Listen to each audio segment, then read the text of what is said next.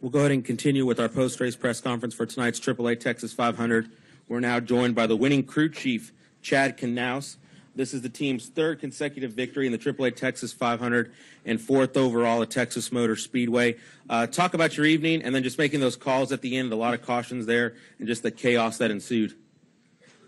Whew, I don't even remember. How's that? It was, uh, how's the best. It goes like that? That's nice, right? Um, it was it was difficult. It, you know, we made the call there with uh, 30 or so laps to go to stay out. You know, quite honestly, I think that was a wrong call. Now looking back on it, but it was the call that we made. We decided to stick with it, obviously, and uh, it, panned out for us. It was it was difficult. There were some fast cars coming. Obviously, the 24 car they jumped out there in front of us on that one restart, and uh, quite honestly, if that next caution hadn't come out, uh, they would have definitely won the race. Um, but Jimmie got a really good restart on that uh, that last restart. I don't know exactly what happened between Brad and Jeff. Uh, obviously, those guys got tangled up and, and got together, and there was some chaos there. But uh, we were able to, to scoot away and get going.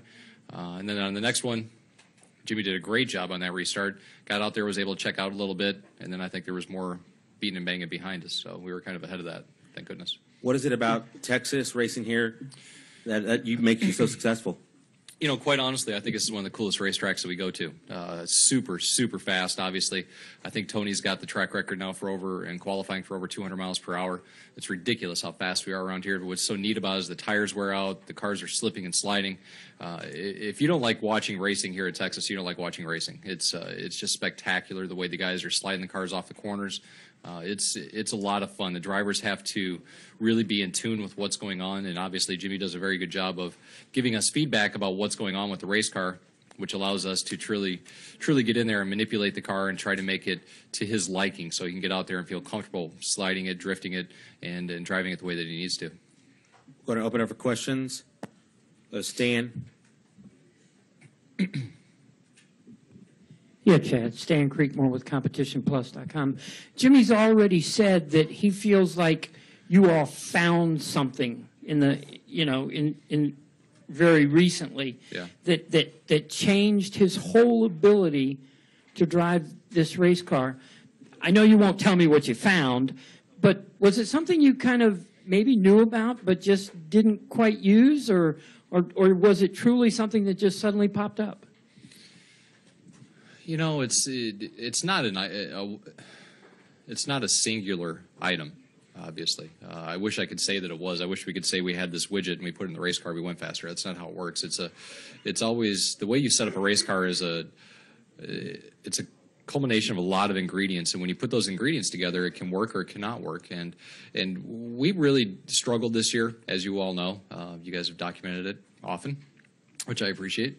Um, and we we we kind of got off base a little bit, and uh, we were we went down to Homestead last weekend, and we really went back to what our roots were, how we work on a race car, how we want to do things, how we would typically do things 48 style, and uh, we found a little bit of speed down there. Uh, we were able to expand on that on the second day.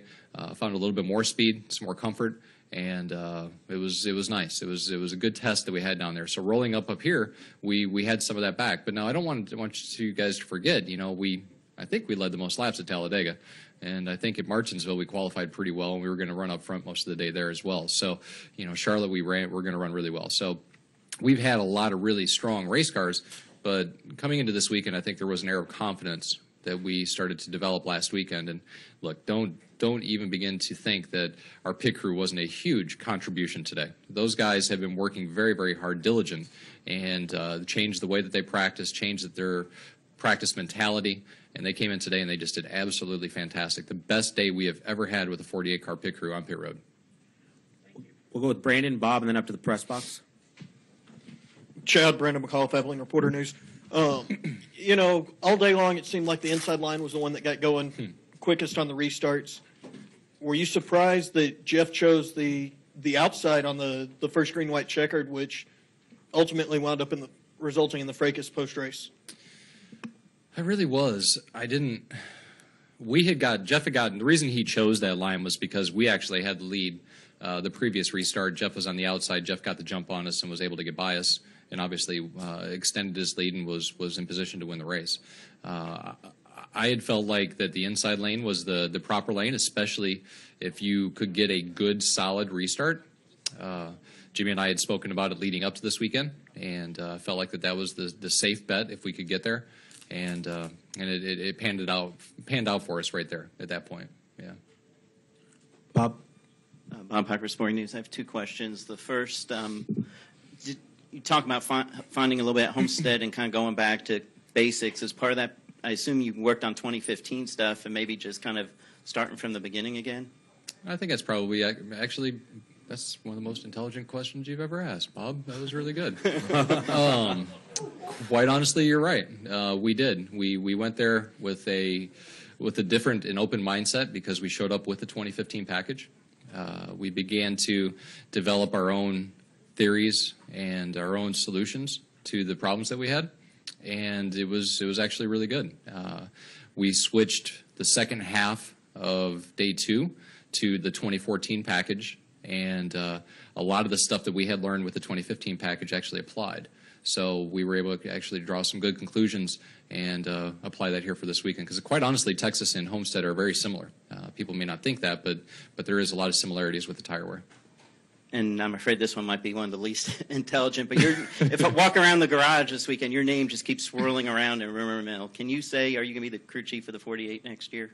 What are you hearing? I'm hearing you're going there. Or I've heard two or three different places, to tell you the truth. Man, I haven't heard any of that stuff. You guys keep all the good stuff away from me. You write all the bad stuff. You don't tell me the good stuff.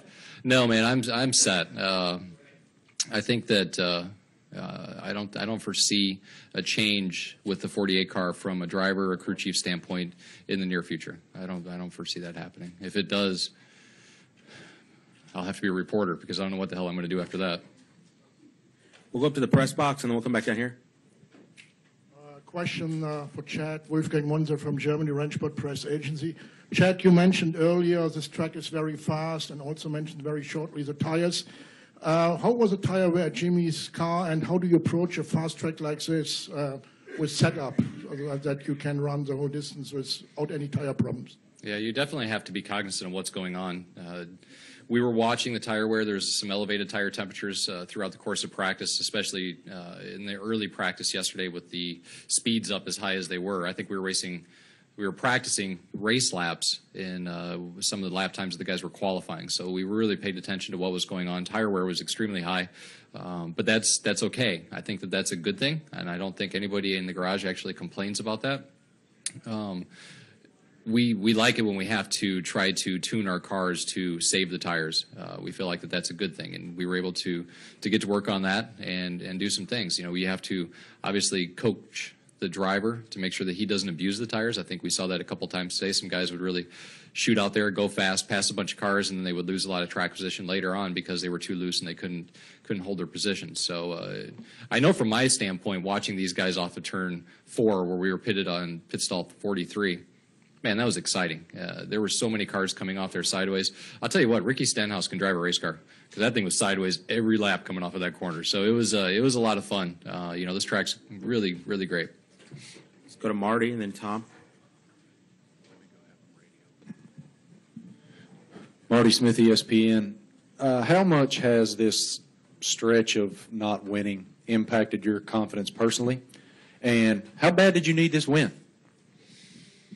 You know, it was it was difficult. Uh, obviously, I I hate losing more than I enjoy winning. You know, and uh, obviously going through this this stretch has been difficult. Uh, we've we've looked for answers, haven't found uh, haven't found them. We've lifted every stone to try to figure out how to get the 48 car to to run a little bit better throughout the course of the season. And I think we got blinded a little bit um, by our own just misguidance. And um, it's it was difficult. Uh, I my confidence was definitely low. I know Jimmie's was definitely low. And you know, look, winning cures a lot of things, but the the proof is in how we react beyond this point. How we go to Phoenix, how we how we produce there, how we go to Homestead, how we rea- how we race there. Uh, you know, those would be the true tale of where where we're at. Go ahead, Tom. Hi, Chad. Tom Jensen, FoxSports.com. We've seen this year Roush Fenway's really fallen behind. We saw um, um, uh, Joe Gibbs hasn't won since Talladega in the spring. You guys had a cold stretch. Why is it so easy for big teams with presumably brilliant guys, talented um, people working for them and lots of money to fall behind. Because there are people who are falling behind, and then you come back and, you know, kind of put an old school ass kicking on everybody today. How- It's easy happened? to do. You have to realize that you know we were talking about it the other day. Jimmie and I were that when when these guys go out there and when you have the the fastest race car on the racetrack and the 25th fastest race car on the racetrack within a couple of tenths, man, it's it's not that difficult to to fall behind. Um, you know, it's it's a challenge to stay ahead of the curve in this industry. Um, you know, it's it's it's hard. It's in, it's an ever moving target. Rules change, processes change throughout the course of the year. Uh, we came into the season, we felt a little bit behind from the onset. Um, you know, I think the Gibbs guys maybe did as well. I think they were battling for the championship last year, and they lost a little bit of their edge because they weren't able to test and, and focus on the next season like some of the others did. You know, quite honestly, you look at the two and the 22 right now. Now they may go to Phoenix next week and, and whip us, but they aren't as strong right now as what they were earlier in the year because the other teams have actually caught up to them a little bit. So it's a it's a challenge, man. It's a it's a sincere challenge, and you know one of the things Jimmie and I know, and look, I don't always do the best of. The easiest way to go out there and beat people is to work together. And uh, you know when things get difficult, it's almost sometimes more difficult to work together, right? Because you get isolated. So as teams go through the season, if they are, don't have success, they end up uh, inherently starting to pull apart, and that's that's a challenge. We're now joined by tonight's winner of the AAA Texas 500, Jimmie Johnson, driver of the number 48 Lowe's Red Vest Chevrolet. Uh, you're now the winningest Sprint Cup Series driver here at Texas Motor Speedway with four victories. Your third consecutive victory here in the AAA Texas 500. The sixth That's victory. what I look like. Fantastic. That's exactly what I I was like. Wow, the red vest. The sixth victory. and the cowboy hat. It's just a weird. the sixth victory for Hendrick Motorsports here at Texas Motor Speedway, and your 70th uh, Sprint Cup Series victory of your career. Talk about the win, and then just there at the end, a lot of cautions, just the chaos that ensued. Yeah, I'm just really proud of the effort uh, to win 70 uh, cup races is just mind blowing to me. So, uh, very very proud of of hitting that um, mark tonight. Um, thankful for Chad and my team, and uh, very proud to have won all my races at one one race team with one sponsor. Um, and then obviously having the, the red vest Chevy tonight's been a lot of fun. We had a, a few chants in uh, victory lane with the Lowe's employees that were there. I'm not sure if anybody had a chance to see it, but we go through and spell out the word Lowe's and uh, to have that camaraderie and, and fun with um, you know the executives from Lowe's and then the people that work in store that we were racing for tonight and dedicating the swim to tonight. Just just a lot of fun. So. Um, we, we wanted to close out the year by having fun, and winning races helps you do that. Uh, but I have to give a lot of credit to our test session in Homestead earlier this week. Uh, we we went down there, and, and Chad and the guys um, it started making me happy. I guess I've been unhappy for a while, and these guys put some great speed in the race car, got me really comfortable with the car, and we were able to bring a lot of that here and uh, and, and get the car you know off the truck right away. Was quick, qualified third, and then uh, dominated tonight and won the race. So uh, just proud of the effort. And as Chad said, it's tough when you're going through uh, watching you know a championship opportunity slip away from you. But uh, and we, you guys ask me questions in here about us raising hell with one another on the radio. Uh, but that's part of the process. You know, that's one thing that's been good about us is we've always been able to be honest with one another and say the tough things. And uh, sure, you might not like to hear it, and you might might sting a little bit, but it's what's kept us uh, together for all these years and has provided the 70 wins and six championships. So I'm just happy to be here and, and very happy to have our speed back and look forward to these next two races. We're going to take one more question for Chad in the press box and we'll let him go. Chad Kirsten, Catchfence.com. Is it safe to say that you're going to take this chassis to Homestead? No. Is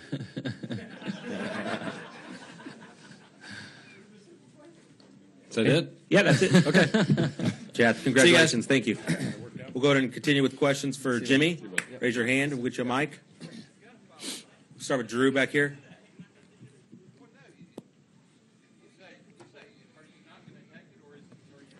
Jimmie, Drew Davison with the Fort Worth Star Telegram. Can you just talk? Do you think having a non-chase driver here for the second consecutive week takes anything away from the chase, or kind of how do you view that? No, I mean, there's a lot of good race teams, and you, we, there's always a uh, you know, people that aren't mathematically eligible to win the championship, those folks always win races at the end of the year.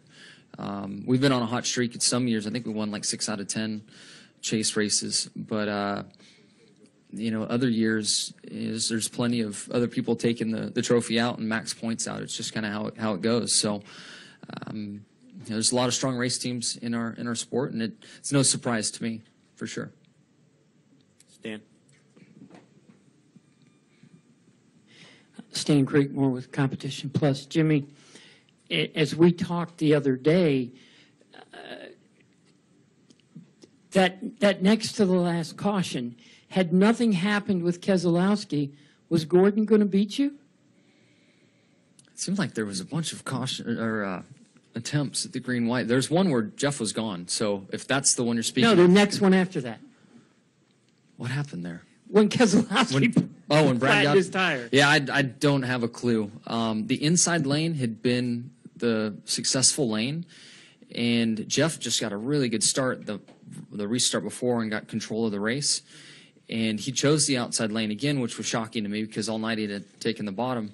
And as I was trying to piece things together, um, I was trying to make sure that that 18 behind me got a good start. So I was trying to communicate to him out the side of the car to let him know when I was going, so he could get a run and try to. I guess it was the two, not not the 18, and uh, and and get a run and and, and try to um, clear the 24 into turn one, uh, because with him on my outside, going through the corner, my car was pretty uncomfortable, and frankly, I just I just let off some and just surrendered the position. I wasn't going to take him out in the process. Um, and that's how he got by me the one where he checked out and then i was just trying to hold off the two the best that i could and um, when things changed and the 24 wasn't on my outside there was no need to lift and i left it flat on the floor all the way through four and just cleared them off of turn four and, and came to the white at that point Any additional questions? Bob. Uh, Bob Pockrass, Sporting News. Chad was talking about the Homestead test, you guys finding something and kind of going back to basics. I'll ask you the same thing I asked him. The fact that you kind of started in 2015 mode, do you think that kind of helped kind of um, the learning process? Yeah, I, I think so. Um, you know, the 2015 package, the way it sits, eh, what what I felt with the power out, and even though there is some downforce taken out of the car, um, you still carry a lot of throttle. Um, I'm hopeful that in 16 we can take more downforce out. Um, your effort and the way you drive the car was very similar to what you have in the 14 package, but just at a slower pace. And you know, there weren't, weren't many cars in 15 form, so we were kind of on our own little island, pretty calm, relaxed uh, atmosphere, and just working through stuff. And um, you know, definitely hit on some things. So I don't. I mean, maybe the calm environment um, of being in 15 form helped. And um, once we got rolling in 15 form, I mean, I was hurting people's feelings in 14 configuration and pulling away from them out there with low horsepower. So we knew once we got our car into the 14 configuration on day two that uh, we'd be pretty quick, and that, that happened too. So um, yeah, I, I think being in 15 form down there helped us. Tom. Hi, Jimmie. Tom Jensen, FoxSports.com. Congratulations on the victory. Thank you. Um, you said when you were in here for your media availability that you are okay with this point system because it's what fans want. Do you think fans want to see fights after races? And do you think the way the aggression Keselowski is showing is really going to hurt him down the road with his fellow drivers? I need to see what happened with two. Um, based on Jeff's frustration, I would assume that it was pretty aggressive, and and, uh, Jeff just doesn't go crazy like that and chase people around and, and after a race. But um, it can, you know, I think. I I don't know. It's kind of a catch twenty two, and again, I need to see it because when, when your only opportunity to advance is to win, you know, he had a bad race in Martinsville. He's got to do all he can to win. So, you know, the the system is breeding this, and it was by design. I think Brian France sat back and looked long and hard at this, and was hopeful that these moments would happen. Um, you know, it's it's changing the way things take place on the track. And when I think back to when I started, you know, we'd point people by, let them go. There's this gentleman agreement on the racetrack. You, everybody told you to study Mark Martin and watch how he lets people go and works with people. That stuff hadn't happened in years. I mean, we'll cut each other's throat any chance we get. So, I mean, it, the, it's just trending that way. Um, we'll see what it means for the future for Brad. Um, I, I feel like on track, he does uh, does a good job. I think he gets himself in more trouble off the track with things that he says personally. Um, so we'll see how things proceed from here and, and how he handles all that. Uh, what was the first part? The question. What fans want? I don't know. I sat in here and made those comments earlier, and watched my timeline fill up with people telling me that I had it all wrong. And uh, you know, from a diehard fan standpoint, I don't believe that's what fans want to see. But I'm confident that tomorrow will be on the front cover of every paper and we're trending on all the social stuff. And um, heck, you might even make it on the Today Show or some of the other mainstream television shows because there was the fight and there was crashing and all of that. And that's unfortunately what leads to those big headlines. And that, that's kind of the point I was trying to make all along. And I don't know what the right answer is. Um, you know, tonight, um, I hope people tuned in to watch, but you, you just you just never know. But again, I, I, my comments come from a place of caring for our sport, and I want our sport to be viewed, and I want fans in the grandstands. And at the end of the day, that's if I make a comment in here that somebody agrees with me or doesn't, all I care about is our sport being successful, and and uh, you know, trusting Brian France and the executives at NASCAR to take us down that road. Joey.